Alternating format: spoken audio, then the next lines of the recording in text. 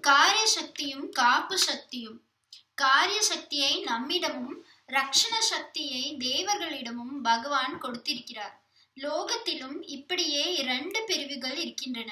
வயல் ஃபேக்டரி இவை காரியம் பண்ணுமிடம். போலீஸ் கோர்ட் மற்ற ஆபீஸ்கள் எல்லாமே ஒரு விதத்தில் ரக்ஷனை காப்பு தருகிற இடங்கள் தான் வயலிலும் ஃபேக்டரியிலும் காரியம் பண்ணி உண்டாக்கினது வீட்டுக்கு நியாயமாக வந்து சேரும்படி செய்வதற்குத்தான் ஆபீஸ்கள் இருக்கின்றன. ஆபீஸில் பதார்த்தங்கள் ப்ரொடியூஸ் இல்லை சாகுபடி இல்லை மெஷின் சத்தமும் மாட்டு சாணியும் புழுதியும் இல்லை. நகத்தில் அழுக்குப்படாமல் பங்களா ஃபேன் நாற்காலி என்ற சௌகரியங்கள் ஆபீஸில் இருக்கின்றன. உடம்பால் உழைக்க வேண்டியதில்லை. எல்லாம் பேனா வேலைதான். தேவலோகம் இப்படித்தான் இருக்கிறது. அது சர்வலோகங்களுக்கும் ரட்சணைக்கான ஆபீஸ் ஆபீஸ்காரர்கள் உழுவில்லை. மிஷினை பிடித்து சுற்றவில்லை என்று நாம் குற்றம் சொல்வோமா? அவர்கள் இதை செய்ய ஆரம்பித்தால் நம் ரட்சணை போய்விடுமே. தேவர்கள் இப்படி அதிகாரிகளாக இருக்கிறார்கள்.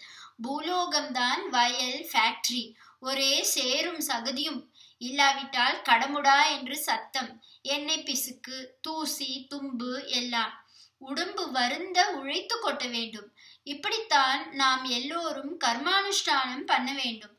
ஹோம புகை பசி பட்டினி எல்லாவற்றோடும் வேர்த்து கொட்டிக்கொண்டு பண்ண வேண்டும். இதனால் தேவர்கள் உசத்தி நாம் தாழ்த்தி என்று பகவான் நினைக்கவில்லை. ஆபீஸில் ஜோராக உட்கார்ந்திருப்ப இருப்பவனுக்கு இந்த விவசாயம் ஃபேக்டரி தொழிலாளியும் தான் சாப்பாடும் மற்ற சாமான்களும் உற்பத்தி பண்ணி கொடுக்கிறார்கள். இவர்கள் இல்லாவிட்டால் அவன் பட்னிதான் அவனுக்கு ஒரு சாமானும் கிடைக்காது.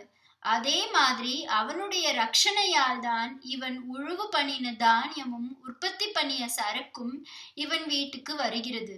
சமூகத்திலும் எல்லோருக்கும் அவை கிடைக்கின்றன.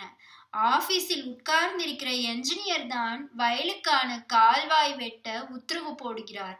விவசாய அதிகாரி பூச்சி மருந்து கொடுக்கிறார். ஒரு ஃபேக்டரி என்றால் லைசன்ஸ் தருவதில் இருந்து அதற்கான மூல சரக்குகளை வரவழைப்பது முதலான எல்லாம் ஆபீஸ் அனுமதியால் தான் நடக்கிறது. அப்புறம் சர்க்காரும் போலீஸும் கோர்ட்டும் தான் இவை நியாயமாக எல்லோருக்கும் விநியோகமாகும்படி சகாயம் பண்ணுகின்றன. நடைமுறையில் எப்படி இருந்தாலும் ராஜாங்கம் என்பது இதற்காக இருப்பதாகத்தான் பேர். இப்படி ஒருத்தரை ஒருத்தர் நம்பி இவனால் அவனுக்கு சுகம் அவனால் இவனுக்கு சுகம் என்றிருக்கிறது. இதனால் எல்லாம் தான் பரஸ்பரம் பாவயான் பாவயந்தக என்றார். ஆனாலும் தேவர்கள் நம்மை எதிர்பார்ப்பவர்களாக இருந்தாலும் அவர்கள் நம்மை விட உயர்ந்த உயிரினம் என்பதை நாம் மறக்கக்கூடாது. அவர்களிடம் மரியாதையுடன் இருக்க வேண்டும். பிற மதங்கள் எல்லாம் ஒரே சுவாமியைத்தான் நேராக வழிபடும். ஒரே கடவுளிடத்தில் நேராக பிரார்த்தனை செய்யும். பல தேவ சக்திகளை பிரீத்தி செய்கிற யாக யஜ்யங்கள் மற்ற மதங்களில் இல்லை. நம்முடைய மதத்தில் சந்நியாசிகள் தான் சாக்ஷாத் பரமாத்மாவையே நேராக வழிபடலாம்.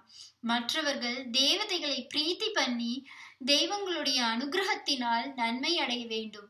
தேவதைகளை பிரீத்தி பண்ணத்தான் பல ஹோமங்கள் யஜ்யங்கள் எல்லாம் பண்ணுகிறோம்.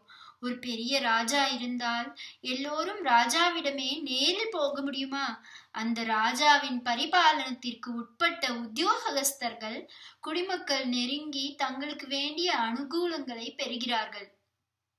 உத்தியோகஸ்தர் தாங்களாக செய்வதில்லை. அரசன் உத்தரவுப்படிதான் ஜனங்களுக்கு அனுகூலம் செய்கிறார்கள். ஆனாலும் அரசன் தானே செய்கிறான் என்று அரசனிடத்தில் குடிமக்கள் நேராக போக முடியாது. அப்படித்தான் நம் மதத்தில் சில வழக்கங்கள் இருக்கின்றன.